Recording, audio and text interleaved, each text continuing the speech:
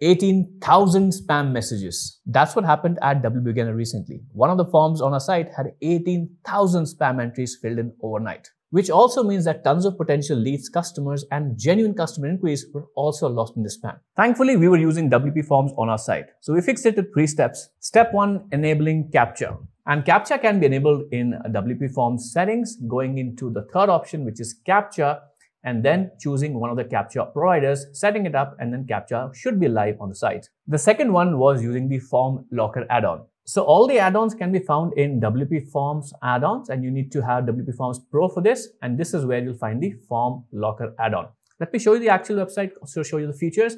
So it offers password protection, age verification, email confirmation, timed submissions, members only access, submission limits, IP restrictions, which is very powerful, email limits, and spam entry blocking automatically. And the third feature we used was conditional logic, which helps you set up with if and else conditions, gives you an additional layer of security on your website. So if you have a spam problem on your site, WP Forms is one of the best solutions you can use with all these amazing features and a lot of other features as well.